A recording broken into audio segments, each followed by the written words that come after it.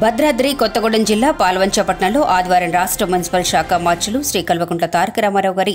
జన్మదిన వేడుకలు నిర్వహించారు. ఈ వేడుకలో ముఖ్య అతిథిగా ఖమ్మం జిల్లా మాజీ ఎంపీ టీఆర్ఎస్ రాష్ట్ర నాయకులు పొంగులెట్టి శ్రీనివాసరెడ్డి గారు భద్రాద్రి కొత్తగూడెం జిల్లా పరిషత్ చైర్మన్ కోరం కనకయ్య గారు పినపాక మాజీ ఎమ్మెల్యే పాయం వెంకటేశ్వర్లు గారు బొంగకంటి గోపాలరావు జిల్లా తెరాస నాయకులు డాక్టర్ మట్టా దయానంద్ విజయ్ కుమార్ గారు మాజీ SC corporation chairman Pidamarthi Ravi మరియు బీసీ సంఘ జిల్లా organizing secretary Avula Madhu TV GKS MD Razak మరియు పలువురు నాయకులు పాల్గొన్నారు.